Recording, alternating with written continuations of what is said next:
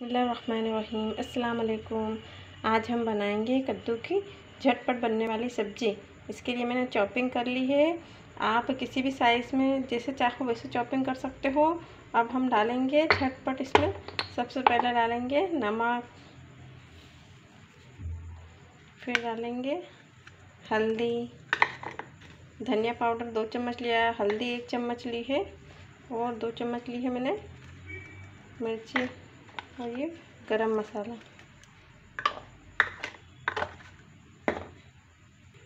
मैंने कढ़ाई चढ़ा दी है। इसमें तड़का लगाएँगे।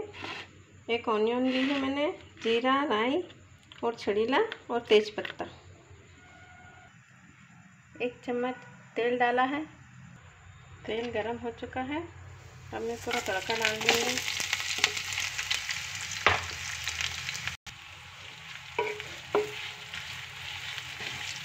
थोड़ी दाल होने देंगे।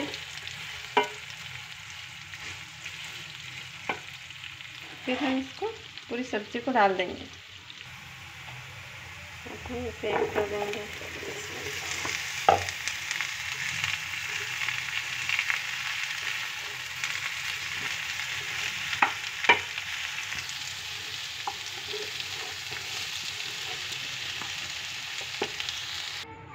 हम इसे थोड़ी देर के लिए ढक कर रख देंगे। एक मिनट हो चुका है, अब हम इसे थोड़ा चाल देंगे।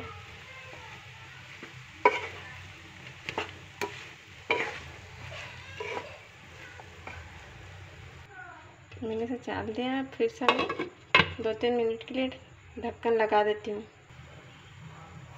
दो तीन मिनट हो चुका है, हम इसे फिर से चालेंगे।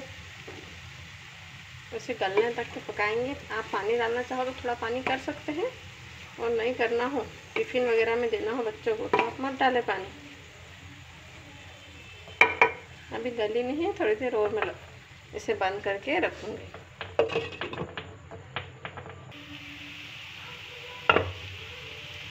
मैं इसमें थोड़ा सा पानी ऐड करूँगी, एक थोड़ा सा ही करूँगी।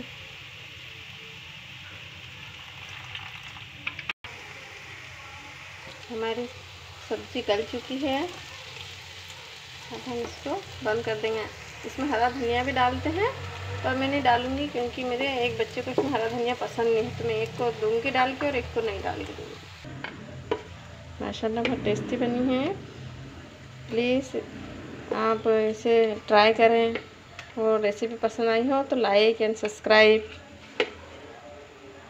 अब मैं इसमें डालूँगी बनने के बाद नीलम मसाला, या तो फिर आप मैगी मसाला डाल सकते हो।